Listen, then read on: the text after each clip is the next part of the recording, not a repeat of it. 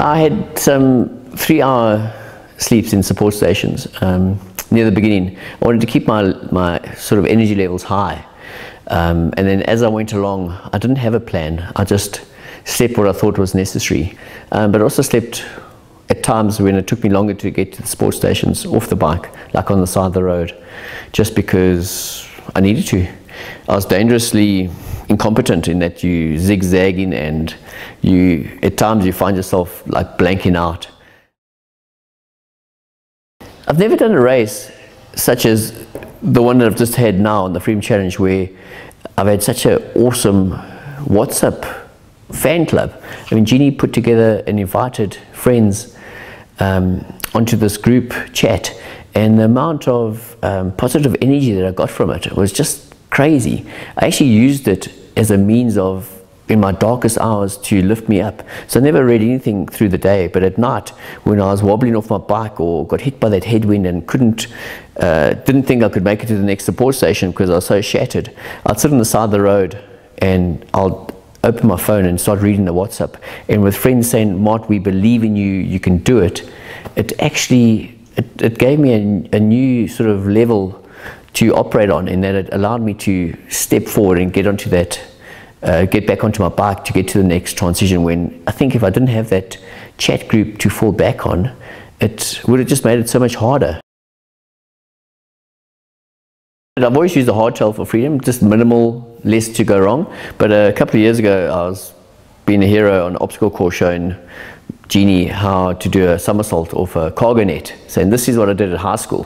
And I did it and I slipped a disc and needed to have a back operation to shave the disc.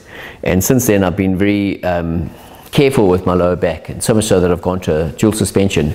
So I use the Cannondale a lefty, which I have been using as my current bike, but I changed the lefty to a Fox fork because I wanted a Dynahub to be able to recharge um, my phone and light. And so, and I've never gone high tech before, so I decided to go that route. And the dual suspension, I think, counted for a lot, although it is a lot heavier and all that, but I was, I was keen for a, a plush ride and to make it as comfortable as possible.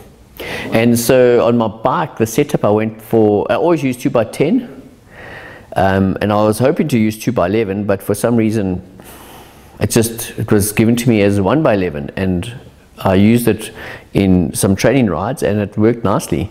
Um, a friend of mine, Anton Mabry, made a massive impact with my race setup in terms of he's very race uh, orientated in his mindset and he gave me the mindset that Martin if you want to beat your record you need to be competitive from a race point of view like having a better race setup but the basics I'd carry were that I would have a base layer and then I'd have um, uh, a fleece top and a rain jacket, a lightweight rain jacket.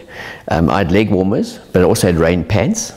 I had sealskin socks up to knee length, uh, which are hugely warm, and also any water that you've got to go through, it just keeps your feet dry, even though your shoes are wet because they're like, like a gumboot.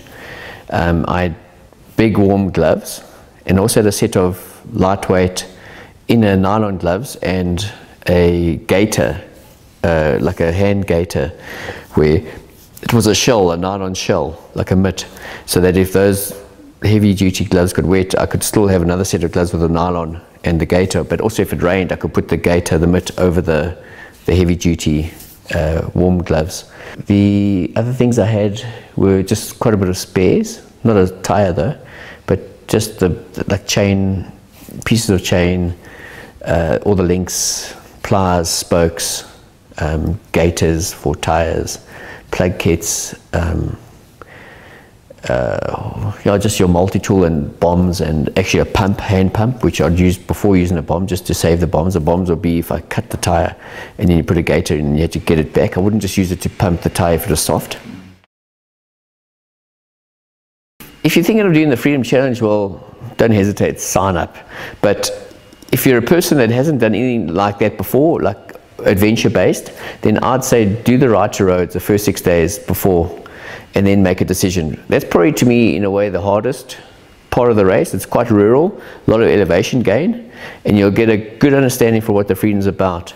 But if you do decide to do the freedom itself, firsthand, um, don't set yourself too many two less days because if you're going to do 15 days or less, you've got to do night navigation and you need visuals with the narratives and the maps to be able to navigate at night.